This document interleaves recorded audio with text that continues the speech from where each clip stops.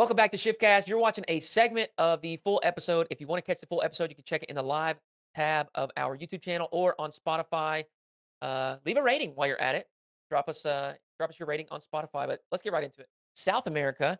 Uh, there was actually a little event, and I unfortunately was not able to catch any of it. I had some stuff going on, but there's the Duds Challenge Season One off-season tournament down there in in South America, and Complexity fall to Erased and Furia in that event um, after picking up Diaz, which I think a lot of people look at as a a move to potentially raise that ceiling, maybe pop them into the top eight um, internationally. Uh, but a little bit of a slow start here. Jens, did you? Uh, what do you make of that? Were you able to catch any of that I uh, that gameplay? unfortunately didn't get to to watch Yeah. the games, but um, it, it's cool to see another tournament going on, Yeah. even though there's there's limited time in between Sure. splits, uh, especially with the organization, some of the organizations being uh, at the major as well, and still everyone participating. It's not like uh, Complexity and Furia weren't there. Right. I mean, Furia won the whole thing, so yeah, it's cool to see. Um, I I didn't really catch the game, so uh, Yeah. feels feels difficult to really say much about uh, how they played. I just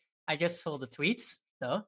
Uh, I saw Oh yeah, I saw uh, those Jan too. get get really you spicy. know, ooh, I mean he is some he, he can can you know get some tweets out of his system that Yeah. you know they're just there's some fire burning there and it, it needs to be needs to be put online. It needs to be uh, shown. So um, I, I feel like it was still all fun and games though. Sure. Um, sometimes it's like a reaction to what someone has said. Like they feel like they're a little bit hard done by, and then Mhm. some of the tweets can be a little bit like, "Oh, should you really do that?" But uh, now it was just it, it was pretty fun. Uh, I think Royales as well tweeted when they he won uh, against Tennis. He was like, "Hey, he's my son. I I no, I just babysit this kid." He was probably Which typing was- that tweet with uh with one hand though. He 'cause he got- was, Mm. yeah, Sustained Yeah. an injury. yeah, and he actually played through it, didn't he? He actually got injured during a football game before the event, before the qualifiers and everything, and played through it um, with you know with an injury, uh, and then after that he actually went to get it cast. So Wow. yeah, ooh, hopefully recovers well.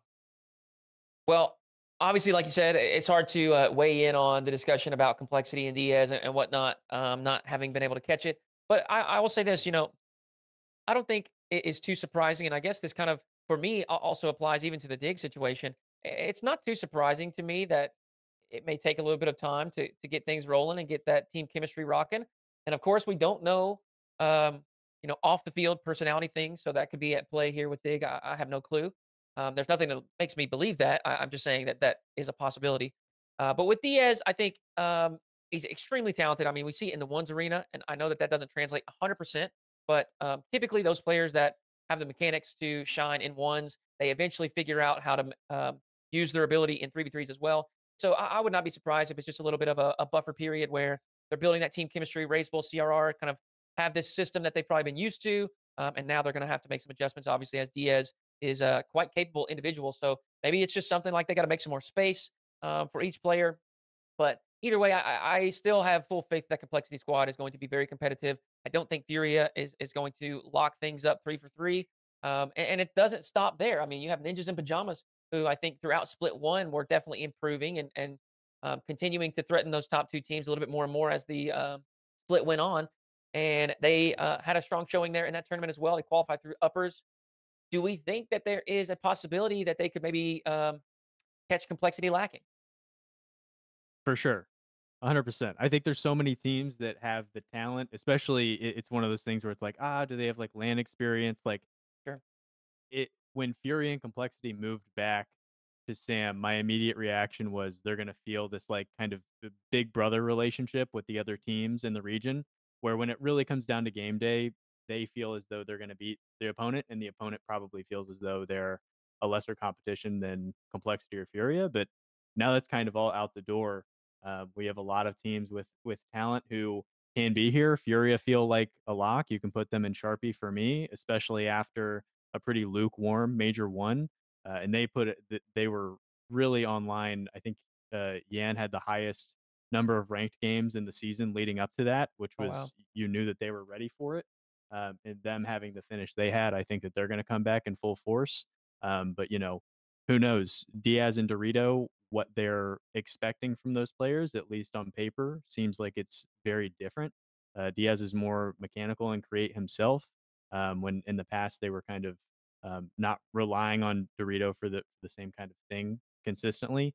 Um, I think that this is an upgrade for complexity long term, but uh, you know, different play styles. It might take a little bit to uh, to gel, and uh, this might just be one of those things where it comes down to playoff matchups. We'll see. Yeah. Yeah, absolutely. Well, I do want to hit on one thing because you guys mentioned the injury, um, and then we'll jump to the the MENA regional preview and, and talk about the MENA region as well. But Monkey Moon also has sustained an injury. He had a uh, a car accident, and um, I think something to do with the wrist. Um, he was wearing a, a brace or a cast of some sort as well. But um, and while obviously I don't understand French, he was live streaming. He was playing the game, so it doesn't seem as though it's such a severe injury that he can't hold a controller and can't play the game. Um, and from what I'm reading on Reddit um, surrounding that stream, they translated some moments. uh, It sounds as though Monkey Moon feels confident in his gameplay. Um, you know, doesn't feel the the need for a sub, and uh, it sounds as though he's going to continue to compete for BDS. So, um, Yeah, you know, it's, it's I'll crazy. say, you know, uh, uh, obviously we hope for the best for the players. We don't want anyone to face an injury, uh, whether it's traditional sports, esports, whatever. I, think that the, the best world for all of us as fans is when everybody can play. You know, we don't we Mhm. don't want situations where one of your top ta- uh, top teams loses a top talent. That is just bad for everyone. So hopeful that that doesn't impact Monkey Moon too much, and, and BDS can continue to roll on just like they did in Split One. Yeah, but it, it's crazy to think about how quickly things can change. Sure. Right? One moment you're just a lock for for every top qualifying spot you want to get, and an injury here or there can really throw things Mhm. completely in a different direction. Um, but yeah, it, it looks like he's doing well. Uh, yeah, I, I don't see them dropping down too much. It's still Monkey Moon, you know. That's right. Even That's right. even on game sense, he can win against some teams in, in the qualifiers. Extra saw the tweet. He was like, "Now's my time." He's like, "No, actually, I'm okay. I'm I'm good." I He's mean, like, I "Oh." did look up the rulebook again to just see what it says on substitutions because imagine it's not actually going that well during a tournament and he's like, nah, I actually can't finish this series or something, True. right? What happens? It actually doesn't say too much about it. It has a whole paragraph about um, disconnects and everything. That's pretty set in stone. If there's a disconnect, there's very strict rules on on how to get your substitutes in and when you can do that and whatever. Um, when it comes to health issues, it's actually you have to scroll all the way down to chapter 14 or something, and then you see that when it comes to health issues, um, it's mostly up to the discretion of the admins, which makes a lot of sense because every Sure, situation That's right. re- regarding the health of the players or even the coaches or managers is going to be completely different. So you want to have some kind of freedom in your rulebook to say, Yeah. well, this is asking for this situation, or we actually now we can put in a substitution, or maybe this isn't really the most fair situation, something like that. So I think most of those rules kind of were written in a way that they mostly apply to LAN events because then you know the health can be much more of an issue and it can be much closer uh, closely inspected by the actual tournament admins which isn't really the case if everyone's playing online but it seems like if something were to happen with monkey moon or with realis or if anyone and they needed to make some changes there is room for it in the rulebook Yeah. I So, just just wanted to- imagine Jens by candlelight with a glass of wine, like chapter 14 of the rule book. no, Ah, no, no. yes, here's the section I was looking for. Yeah, that, that sounds good, but no, it was a PDF file which I could Control F on substitute. There you go. That's funny. Find it right. Well, I just away. wanted I wanted to mention that because obviously Monkey Moon is a, a beloved player and a very successful player and a, a big piece of BDS's success. So um, just something to keep your eyes on. Well, let's jump over to MENA regional preview. We've got Rule One breezing through the quals, uh, while Twisted Minds go to five in their qualifying match. Um, what I mean, there's all kinds of different perspectives, different opinions, um, you know, varying tweets and claims, etc., surrounding the decision to drop Ahmad and, and, and rather than Khaled. I think that is the big thing that everybody was debating about or curious about. Um, no one really confused, in my opinion, that Venom was the selection. I think there's a couple, maybe three or so players that um, probably would not have caused any ruckus from the community, but um, they they went with Venom. But I think the thing that again everybody was confused about was the the decision to release Ahmad and, and, and. You've talked about this. There was some um, maybe some discourse or a little bit of frustration internally, um, even while at the major. And so it seemed like there was something that was going to change. Um, and, and and do we think that this is the right move? I mean, here it's just a qualifier, but uh, a clean performance from Rule One as they make their way into event number one for Split Two. Yeah, I mean they still have the pedigree standards that they need to be at the top of the region, and I don't think that's going to change anytime soon. You have maybe Bravado or Twisted Minds that can do something about it, but uh, we'll have to see where they end up on on the bracket side. This is Yeah. really, really one of those cases where it comes down to where they meet. Is going to be a quarterfinal. It's going to be a semifinal. Um, rather not be grand finals because they will, if they make it there, uh, it's going to be Team Falcons facing them if Right. everything works out. But uh, yeah, it comes down to the to the other teams. I think to a Twisted Minds, to a Bravado game. That's that's where I'm looking at to see how well Rule One are going to do this split. Well, uh, we've also got Team ROC as well, the, the young Yeah. ones, Nush, um, Ops, and Dr. Known. And uh, obviously, you mentioned a couple other solid squads there for MENA, but I think those guys, um, you know, maybe we can start to throw them into that mix as well, as far as being maybe not contenders for major, but one of those upset caliber teams, right? Where they can maybe punch up and, and maybe give Rule One a loss or maybe give Twisted Minds a loss that they weren't expecting. Um, Belair, what do you think about this uh, team ROC qualify for their second straight regional? Obviously, a little bit of a slow start, but loads of talent on that team um, and a young young talent as well. Yeah, seeing that momentum is big. And I, I think for a young squad like this with so few spots, are you really trying to contend for a major? Of course, that's the objective. I think sure. no matter what, as you ramp up, I think confidence is key. Like you said, if you can take a series or a couple of games off one of the big boys in Falcons or Rule One, that's huge. Um, and also, you know, there's those teams that are just on that tier right below them um, that I think we could definitely see. Maybe not them consistently beat, um, but over time take a, a, a series off of um, and and something sneaky uh, with with that venom move that I was just thinking about as I said bravado is Rule One removed talent from bravado who was Yeah. right on their heels they kind of took the talent out of the team who was right behind them a, a, sneaky good pickup for them kind of It's and it's also there. it's not something that typically the community thinks about when you're making roster moves. Like you only think about like where is that player landing, but that's a good point to to bring up because in a region that has you know just two, three, maybe four teams that are that are sincerely contending for those top two major spots, that actually does uh that actually does go come into play as well. So you know making your uh one of your opposition uh squads a little bit weaker while also you know increasing the ceiling and, and maybe even the floor for your team can, can be a huge difference there. So we'll see what happens over there in MENA obviously um, all these events are going to be unfolding this upcoming weekend the final weekend of april uh, i'm excited to see that well let's jump over we've got um, ssa regional preview as well our final region here that will be competing this weekend and just went through their qualifier and i'm going to say this wrong but here's the name teshao is that sounds good to close? me Yeah, I would go for Tesho, but Tesho? th- yeah, I don't know. I don't. But we've got the youngest ever player qualifying for RLCS. We know that this offseason they they they dropped the uh, age requirement from 15 to 13, and we had a 14 year old in Scribbles. Uh, we had a couple other 14 year olds, I think Nush and maybe Ops or, or Dr. Known. I'm not sure who which of the uh, two were the younger, but a couple, a few players around the 14 year old mark making events. Uh, maybe Sphinx as well. I, I don't know exactly how young he is, but we've got the youngest now, think he's 13 years old. Yes. 13 that is this man they're 13 that is so so young and and, and is making the rlcs event i think that is one exciting for ssa right like we want to see that region continue to develop we want to see new talent blossom young talent blossom and this is an example of that right there Yeah, I mean it, it's awesome to see. And uh, when Shift put out a tweet to you know to let everyone know about this spectacular young player coming in, uh, he responded saying, I am truly honored. I dreamed that people were talking about me internationally, and his dream Oh. is finally come true. Thank you very much.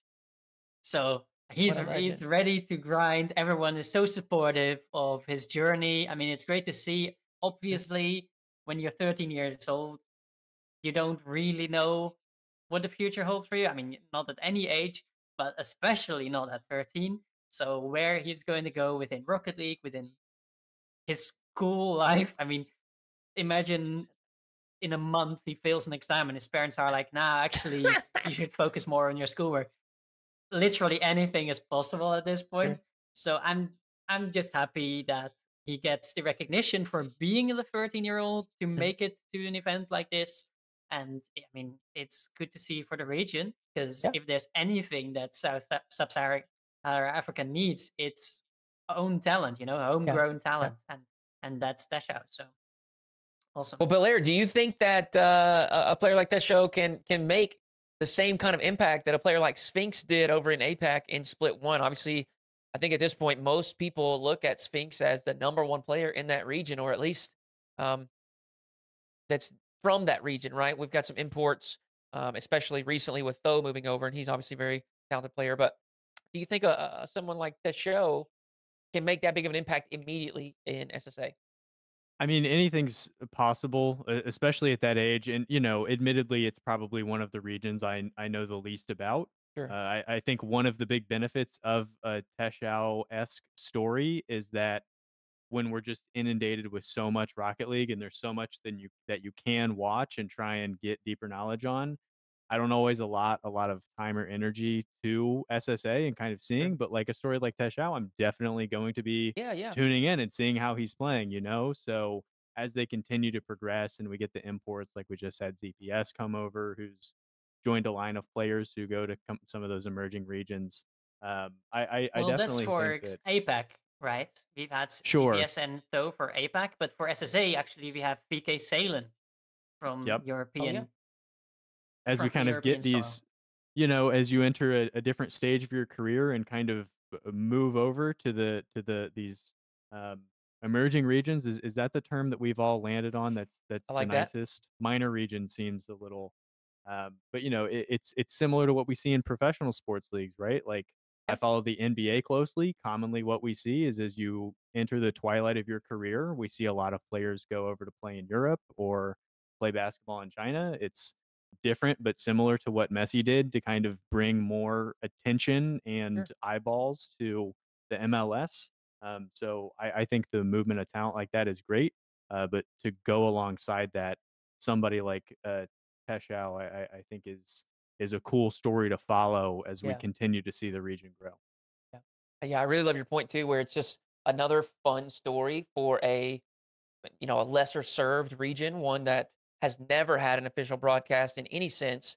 Um, and and so, you know, it's just I think a, a little more difficult for the general community that may typically tune into NA and EU to find talent, find stories, keep up with what's going on in SSA, just because they, like I said, they have not always received that support that some of the other regions have. So things like that, fun story, brand new player, shift Yeah. highlighting it, those kinds of things bring some attention to it, um, which is exciting and, and obviously yeah, a, a positive if you're not having the organizations in there that you want to support, you're looking for other narratives, for other storylines, and the only one that really has been dominating SSA is their own players against the Sure. incoming players from Europe, which hasn't always been the nicest narrative. You know, Yeah. it, it has this little irky, little irk about it. That's like, you know, it's not it's not always been great in the past split. So it's really good to have this other story of young uh, players from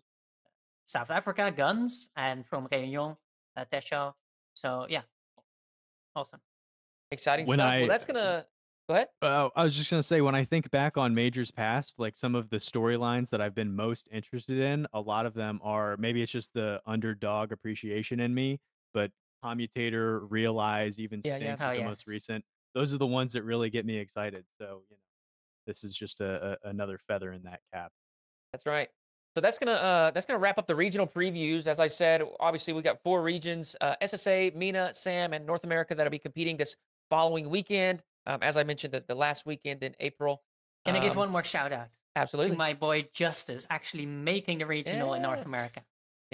Yep. That's Another EU import, representation where um, I did not expect it. He he's playing CRL over here, isn't that why he's over? Yeah. NA? Well, he's Yeah. he's here for or there uh, for CRL and for the RLCS, and now he's actually done something with that, which is yeah, just awesome. I mean, he is Yeah. a good player. Yep. Um, I just didn't expect to see a Dutch player on the field. I mean, we have Violent Panda coaching, right? Mhm. Actually, a lot of European coaching talent in Yeah. the in the re- regional. You have um, Adam Baguette, you have Noah, uh, you have Violent Panda, and you also TSM just picked up uh, Eclipse. So there's a lot of European coaches. Yeah, absolutely. Alongside the uh, the growing number of European players as well competing in North America. Um, but hey, we'll take it any way we can get competitive. That's what we need. So right. that, uh, as I said, that's going to wrap up the regional preview. Y'all check that out this weekend. It's going to be a lot of fun.